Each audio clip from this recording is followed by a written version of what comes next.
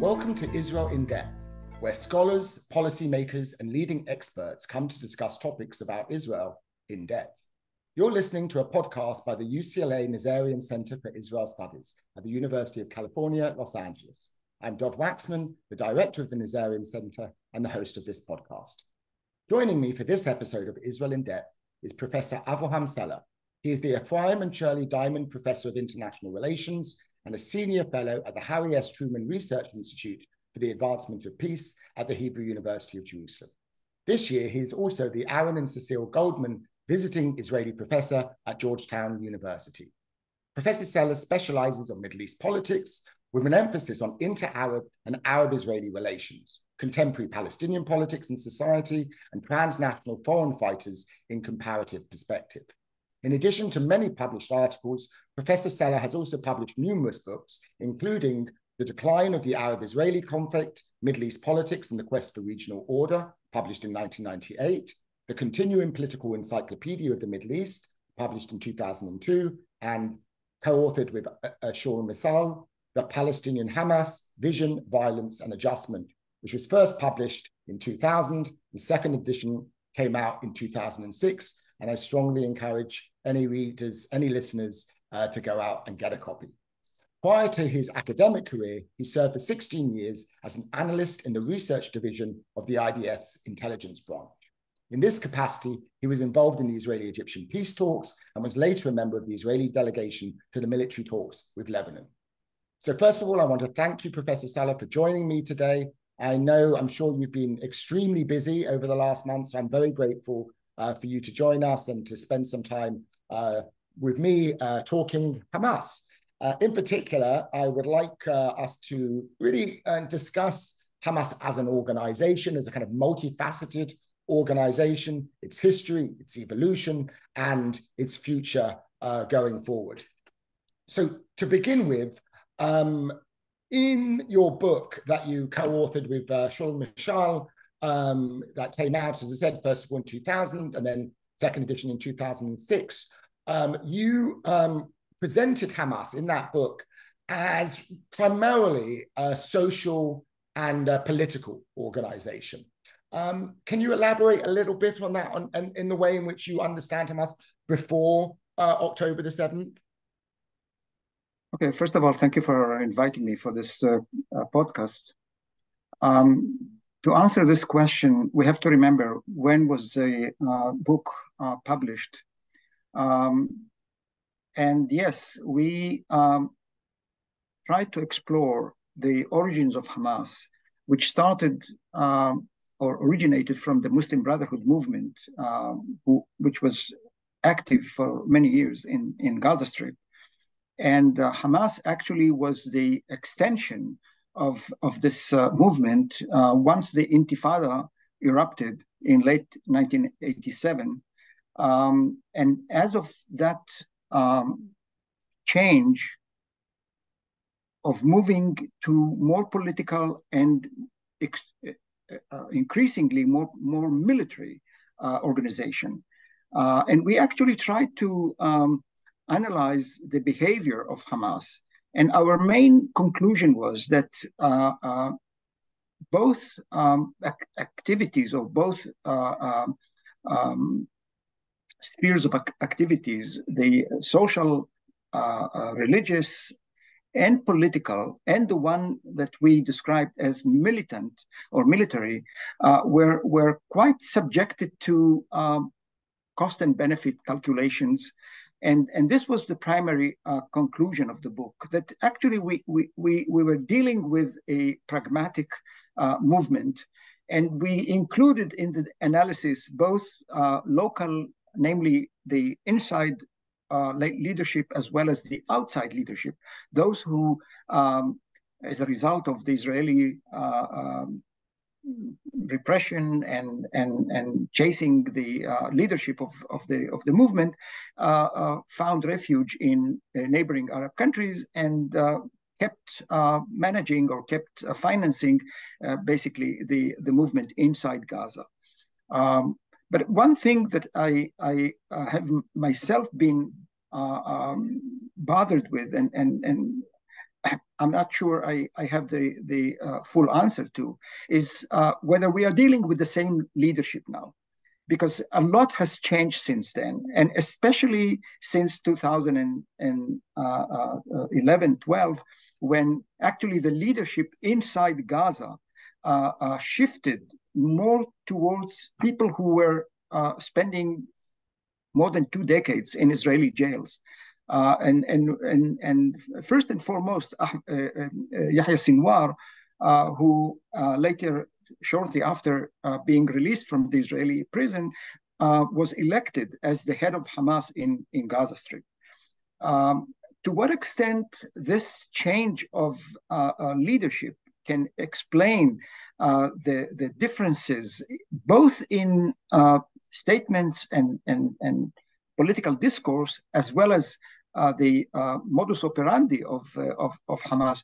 That's not very very clear, and and we still have to uh, um, really uh, look for some some documents and and and more inside information to be able to identify th- that that change if there has been indeed any change. One thing I want to explain, one thing I, I need to, to emphasize. Already during the time when we worked on that book, me and, and, and, and Professor Shaul Mishal, we had the clear picture that we are not talking about one Hamas. Uh, first of all, within, within the Gaza Strip, the uh, military branch uh, was pretty much free and, and independent uh, and, and they created very close relationship with the leadership out of Gaza. So in, in addition to the inside and outside leadership, we also have the uh, military apparatus uh, uh operating in Gaza, uh, whose decisions and uh, priorities were not always discussed either with the local leadership, inside leadership, or with the outside leadership. And in that sense, we, we should remember again that the, the main uh, um, rank and file of, of those people who, who, who, who composed or who, who uh, uh made the, the military uh, uh, power of, of Hamas, and which increased along a long time, came from the margins of society, from the margins of the of the refugee um, society in Gaza.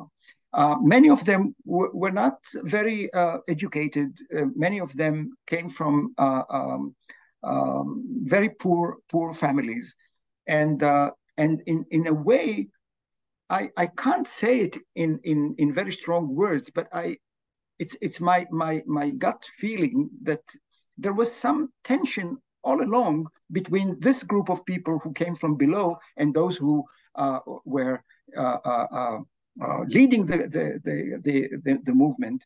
And, um, and I can tell you, for example, that in 2007, when uh, uh, Hamas staged this uh, uh, takeover or, or coup against the Palestinian Authority, it was absolutely uh, against the view of the outside leadership of, of Mash'al and others. I know for sure that Mash'al even spoke on the phone with Ahmed Jabari, the uh, uh, commander of the Palestinian forces, and ordered him to stop what they were doing. And and and, and Ahmed Jabari hung on uh, his phone and, and and refused to speak with him at all. So so so we have to we have to take these things into into consideration when we try to explain what happened, who decided what, obviously what happened on the 7th of october was something that was was prepared a long time. Uh, it's it doesn't make any sense that the inside leadership did not know about these uh, these uh, preparations.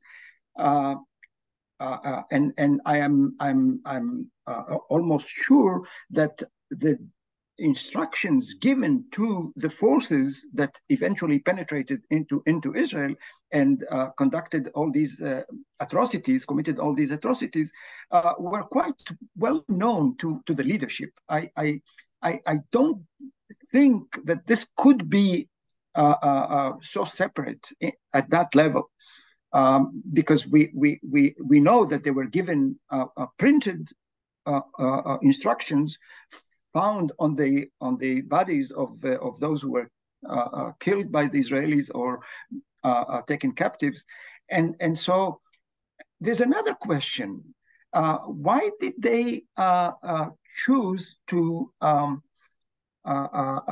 do what they did, namely killing and and um, and and and and and doing all these atrocities. I don't have words to, to explain, but dissecting bodies, uh, burning bodies, uh, uh, raping, uh, uh, um, beheading, and, and, and all kinds of things, in addition to uh, the fact that they were citizens or civ- civilians. We're talking about whole families, children, women, men, and then the uh, uh, um, taking captives. How many captives you need? Israel in, in 2011 uh, uh released 1,100 Palestinian uh, uh, prisoners for one Israeli soldier. So they didn't need that number, and especially not women and, and, and sometimes infants that they and elderly people.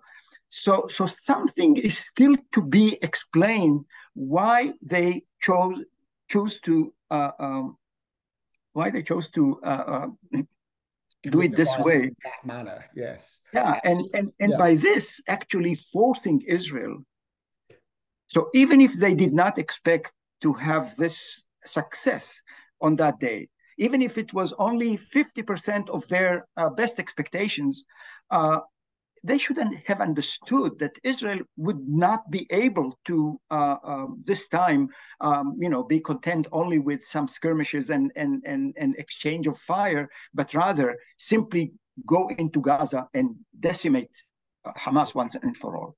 Yes. So I want to come back to that question because I, I I I also have wrestled with you know trying to understand what Hamas is uh, objectives and goals were. Because, like you, I think Hamas's violence has always been instrumental and strategic, and so we have to ask ourselves, you know, what what purpose does it serve, and what what um, goals did Hamas have in mind? I want to just go back a moment though, because I think what you've um, and picking up the points you've said about Hamas you know, emphasizing that it's not a, a kind of, you know, we're both international relations scholars, so I'm going to use some of that language. It's not a unitary actor right? It's not a, a single, it's actually got different um, leaderships, uh, different wings. It's not a monolithic organization. And I think the other point that you've uh, you made in your book and you've uh, reiterated it uh, now is that it isn't a static organization, that it evolves and adapts. You know, and I think some of the discourse around about Hamas since October the 7th has kind of presented it as a singular you know, entity that is since its charter of 1987 until today essentially pursued this kind of genocidal goal uh, in a in a in a um, in an unrelenting manner, and that it's at best only made short kind of slight tactical shifts, or occasionally, you know, essentially pretended that it was more moderate. Um, in terms of understanding the evolutions of Hamas, right? Do you see then this evolution? You know, you think you, the first one, I suppose, is the evolution from the Muslim Brotherhood to, to become Hamas, and then the evolution to adapt to adopt a military wing in 1991, and then to use terror. So how do you how do you see these evolutions or shifts? Is it a question of the internal balance of power within the organization, as you were discussing? Um, you know, as one leader is replaced by another leader, or is, or is it um, a response to these kind of external events, you know, opportunities, if you will, that that arise? How do you see this organization shifting over time and evolving, and in response to what kinds of uh, factors? Well, in this context, um, even within the um, political leadership of uh, of Hamas, uh, we know for sure that there were um, differences of opinion between people who were uh, uh, more moderate and others who were more militant. Um, a number of uh, um, you know core uh, members or really people who were members of the of the of the core uh, decision makers in Gaza in the 90s, for example, some of them uh, seceded from the movement, and and and one or two of them uh, became even even uh, uh senior members of of uh, of the Palestinian Authority, and and and and we know for sure that some some of the of the senior leaders of, of Hamas did not agree with everything and, and in terms of the evolution of the political or strategic uh, uh, thinking of, of Hamas, yes, the, the charter, for example, speaks very clearly about jihad, and the uh, ultimate goal is to um, have uh, uh, Palestine uh, as a whole under, under the banner of Islam, right? and definitely, liberation of Palestine means the elimination of, of the state of Israel. But in the course of the 90s already, including by Ahmad Yassin, the spiritual father and the, and the founder actually of, of, of the Islamic uh, uh, Muslim Brotherhood movement in, in Gaza, uh, he said it very clearly that if Israel would withdraw to the borders of 1967, including East Jerusalem, and agree to the return of the Palestinian refugees, then Hamas would be willing to accept Hudna, which means truce, indefinite truce, uh, basically coming very close to the position of the PLO, other than the difference was, and they repeated it uh, uh, constantly, uh, uh, they would never sign an agreement with Israel, but they would accept Hudna. Uh, and, and in the course of the years, they even, I mean, for example, during the time of, of the um, um, talks between uh, uh, Prime Minister Olmert and, and, and Mahmoud Abbas, uh, they made kind of um, they, they gave a carte blanche to to uh, uh, Mahmoud Abbas, saying um, we are not against the negotiations. We will judge it in accordance with its results, its its consequences. So, and this in 2017 was once again followed by publishing a, a policy paper which was described as a new uh, kind of charter, not exactly, but something that, that Hamas was interested in showing uh, uh, more pragmatic uh, and, and more willingness to accept a uh, political political settlement. What happened between 2017 uh, and and I'm sorry, and and and uh, a few weeks ago. That's that's a that's the question. That's or not weeks ago, but a year ago when they started preparing for this operation. Uh, obviously, obviously there are questions that we don't understand. One thought that I have, and this is this is a question that I I'm I'm more uh, in in in in in a, in a you know I I I I tend to put it forward rather than answer it because I don't know the answer. To what extent the connections between Hamas and Iran, especially in the last few years, have they changed anything in the perceptions, in the uh, political goals? Because I remember about two years ago, I saw uh, uh, Yahya Sinwar speaking to a small audience in Gaza and uh, telling them something about the day when we will be able to tell you how much Iran helped you, help us in in in uh, providing us with with weapons that it's not yet the time to talk about, mm-hmm. something like this. And yes, Hamas established diplomatic or political relationship with Iran already in 1992. Um, and later on, Ahmed, uh, Ahmed Yassin himself visited and, and met with Khamenei, the uh, um, supreme jurist of, uh, of the, the Ayatollah regime. But uh, has, has anything happened in the last few years that changed it? Because we know that the volume of uh, uh, uh, arms supplies to Gaza in the last few years has been not only expedited, but apparently we are talking about a new level of of, of uh, cooperation and and again this brings uh, up the question did the iranian uh, government or or um, uh, the um, revolutionary guard uh, did, did they know? Did they have any any hand in in planning in in in in in, in uh, I'm not I'm not I don't think that they instructed anyone, but at least in the picture of, about what the developing the kind of idea for a right. massive attack. Exactly. Yeah, no, I think that's a very plausible thesis, hypothesis, if you like. I mean, you know, when I look at, at Hamas, particularly between the period of, you know, 2011, 2012 to 2017, you may see during that period, you know, you mentioned the policy document that it that it put forward. And, you know, in the years prior to that, Hamas leaders uh, like uh, Rantisi and even Mashal were indicate in speeches and interviews, you know, a more of a indicating a more moderate position.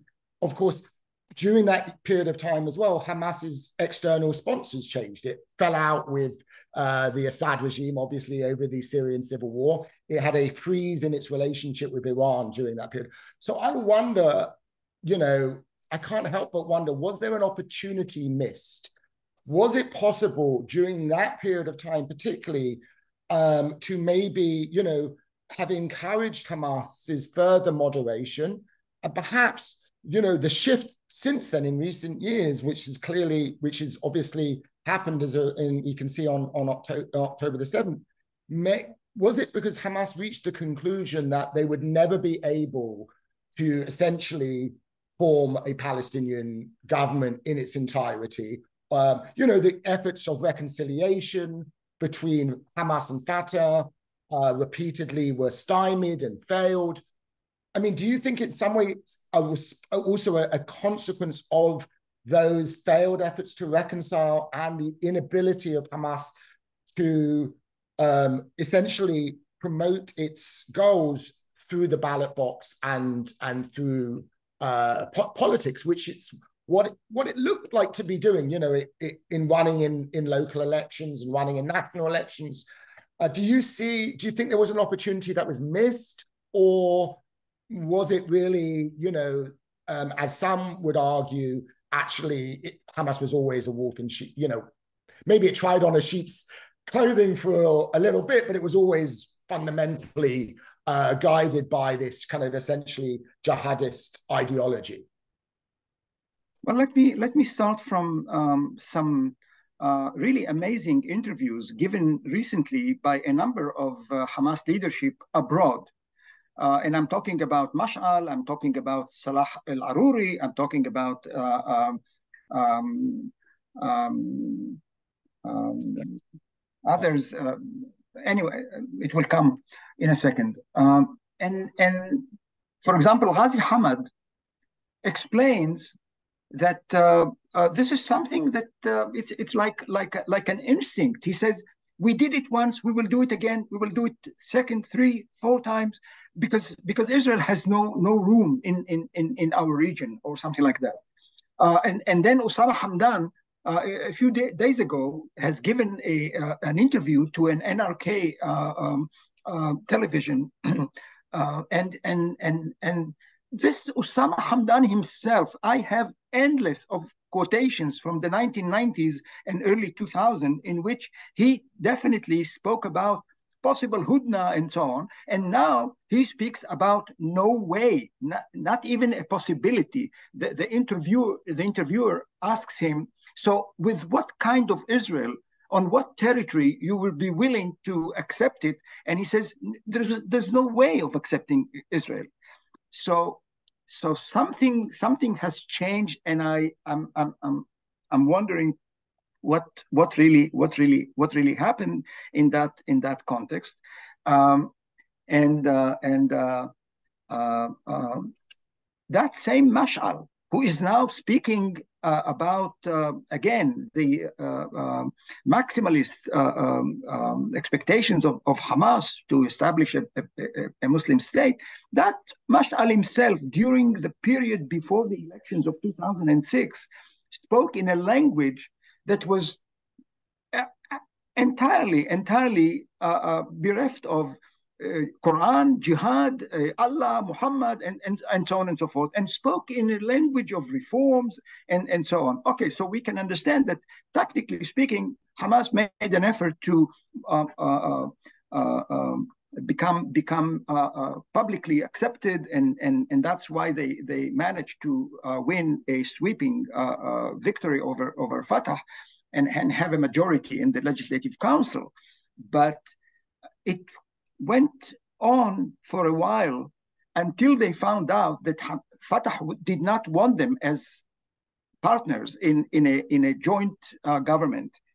And as you said, in the in the following years, there were many many attempts that uh, uh, even Arab countries uh, um, championed, uh, including Saudi Arabia. And only when those uh, failed, Hamas eventually took over Gaza and and and pushed the the the Fatah people out.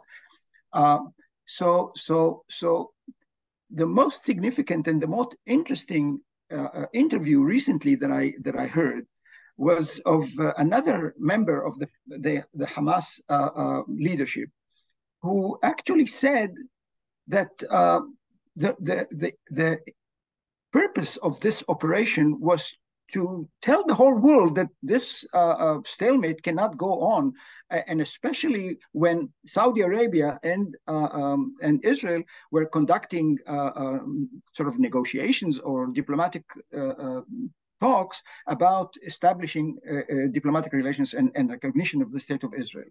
So I'm, I'm trying to think about it. It's like when Sadat wanted to create to break the, the stalemate in 1973, but he was willing to go for something that would be some kind of give and take. Hamas, if they indeed wanted to break the stalemate and, and start or have a new start, then they did the wrong thing. They they they threw the, the the baby together with the water, as we say. Absolutely, yeah. It does it does seem to defy rational in terms of you know, I mean, and then to repeat the desire to, I mean, it seems to be very counterproductive because they've basically said they want to carry out multiple more October 7th. So, you know, it's completely understandable why the vast majority of Israelis believe well, there's nothing, you know, we cannot coexist with this organization or even contain it. So I wanted to ask you about that. You know, given this shift, for whatever the reason, whether it's Iran's, and I think that's quite a good explanation, of Iran's growing influence, maybe the the uh, kind of diffusion of jihadist, um, you know, st- influence style, kind of ISIS um, on the organization. For whatever the reason, clearly Hamas post October the 7th is an organization, at least in this moment, dominated by its military, the most hardcore, hardline elements. They seem to be calling the shots. Yahya Sinwar, uh, in particular, you know, from wherever he is under uh, in a bunker under Gaza. Um, does that mean then, you know, when we think about the future, that the that Israel is essentially right to insist that there is no way that Hamas can continue to exist. It must be completely militarily defeated and destroyed. What does this mean for how Israel and the international community should deal with Hamas today and going forward? Well, obviously, um, Israel is seeking to eliminate Hamas as a, a military uh, organization, as a uh, system of institutions. Um, in other words, to break the, the, the, the, backbone of, of Hamas as, as an organization, uh, be it the military part or the, the administrative part. Um, obviously, again, Israel cannot uh, uh, eliminate the idea of, uh, of Islamism uh, definitely not from a society that is so impoverished, so uh, desolate as the one in Gaza, and which the Israeli operation, which hasn't uh, um, um, um, ended yet, w- would impoverish them even more as as the, the this op- land operation continues.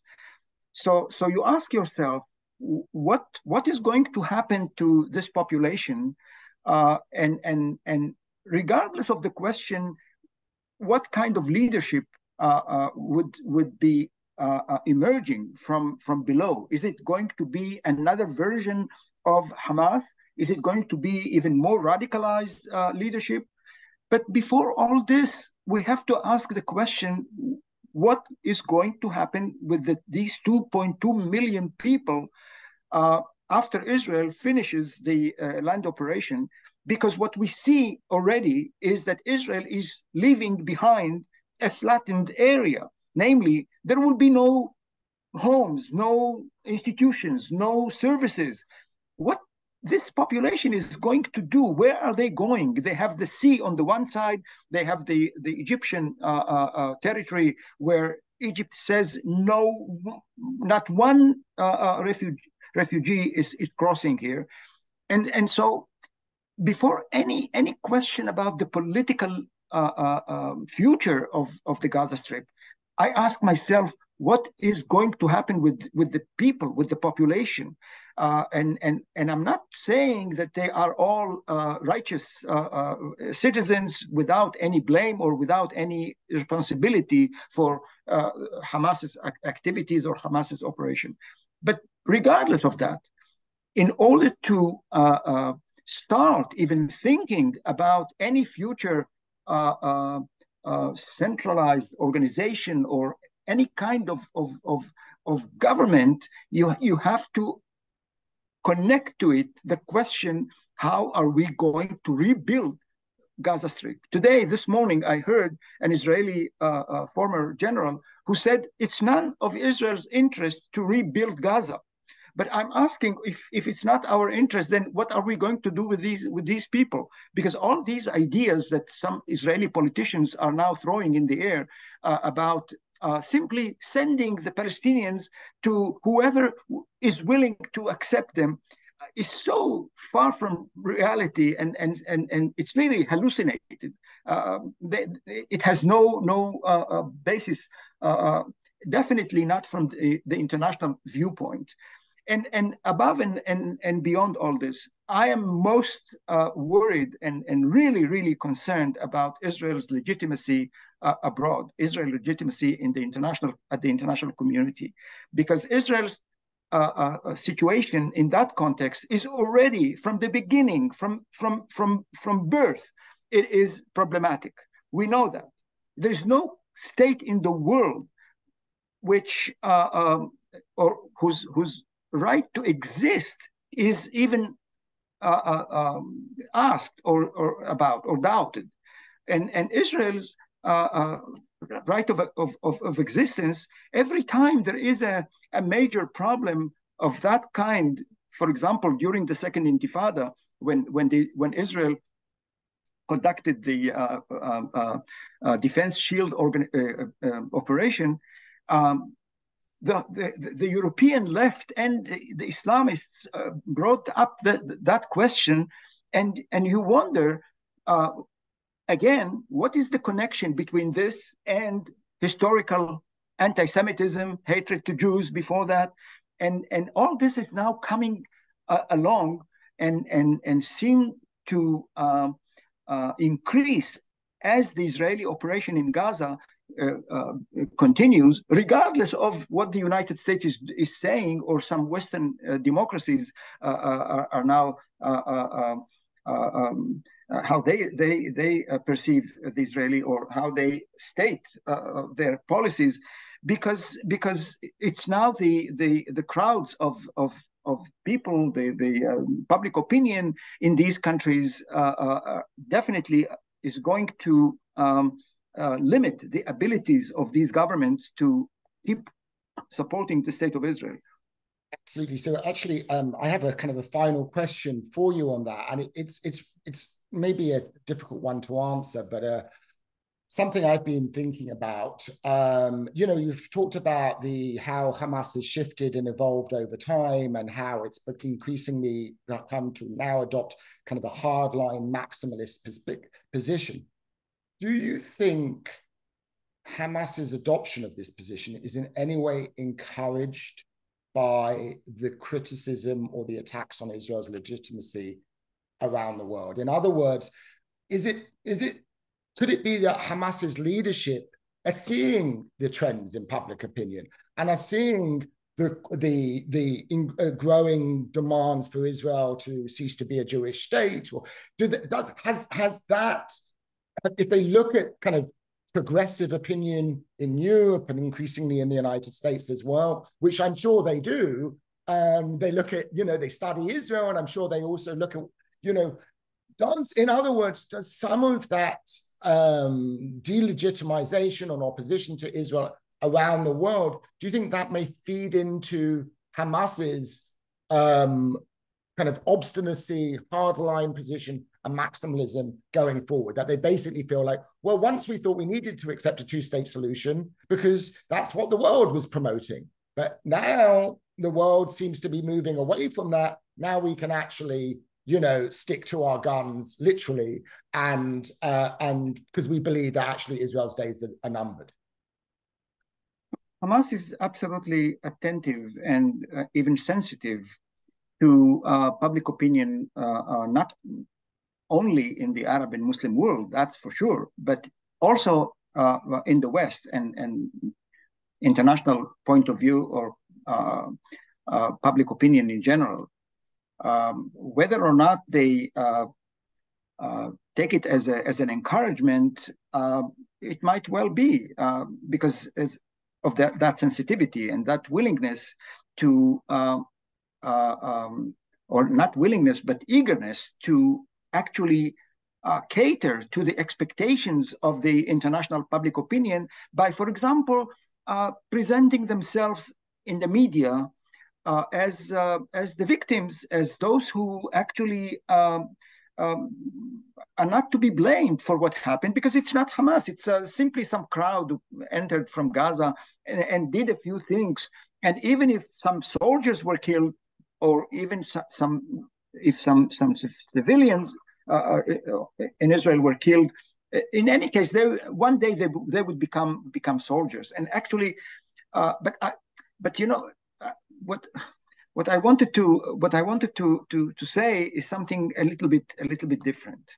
I uh, two weeks ago I published in one of the Israeli uh, websites uh, an article where I uh, uh, warned that uh, by by the land operation that Israel was going to to to start, Israel might um, fulfill the uh, uh, best of, of expectations of, uh, of Hamas, and not only Hamas, but other enemies of Israel, because, because this would, would you know, lead to Israel's delegitimization in the, in the in international uh, uh, arena, and, and, and something that Israel cannot, cannot afford, cannot, uh, I mean, I teach, among other things, Israel foreign policy, then Israel's foreign policy was all the years uh, uh, uh, meant to first and foremost uh, uh, ensure that Israel would have the necessary means to protect itself, to, to defend itself, namely uh, military um, support, and and in addition to, of course, diplomatic. But this was the main the main thing. And and and then the question is where Israel is going to going to be in, in what kind of situation and position uh, when all this is is is is done uh, israel may may win the war um, or may may win the battle but lose uh, the, the the war over the most significant thing which is israel's legitimacy. And i think that israel's legitimacy is the problem not necessarily israel's military power. It's a fact that israel uh, uh, uh, succeeded in uh, um, promoting uh, close relationship with a number of Arab countries, signed two peace agreements with its uh, immediate neighbors and, and Abraham Accords and so on. But the problem is the, the legitimacy, and this legitimacy is connected to the Palestinian issue. And, and so if this war is, is not going to you know, wake up the Israeli uh, political echelon to the need to uh, give more attention and, and really understand the connection between these two uh, uh, uh cause and, and, and, and, and, effect, then, then, then this war uh, uh, was, was, was you know, um, really, really of no point. Yes. I think you're right. I think in many ways that is you've identified the real existential threat to Israel, and it's not uh, you know members of Hamas's military wing Um, but as you said, the legitimacy of the state and, and in fighting against Hamas's military wing, it can end up undermining its legitimacy and, and endangering its uh, this existential threat. Um, Professor Sela, thank you so much for uh, joining me today. It's been a really uh, enlightening conversation. I could have continued it for many more hours, uh, but I don't want to uh, keep our listeners any longer. So I want to thank you uh, really, and I want to encourage uh, all the listeners um, to to to follow Avraham Sela's writing, his research. Um, this is somebody who spent a very long time studying Hamas and I think is one of the really the leading experts on the organization. So thank you uh, for coming on uh, Israel in depth. Um, and I want to thank all of our uh, listeners, wherever you are. Uh, you've been listening to an episode of Israel in Depth. Thank you for listening and be on the lookout for more episodes to come. Thank, thank you for having me. Thank you.